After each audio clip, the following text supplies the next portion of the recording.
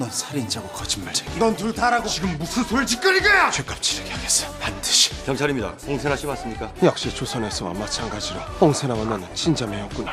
왜 그래?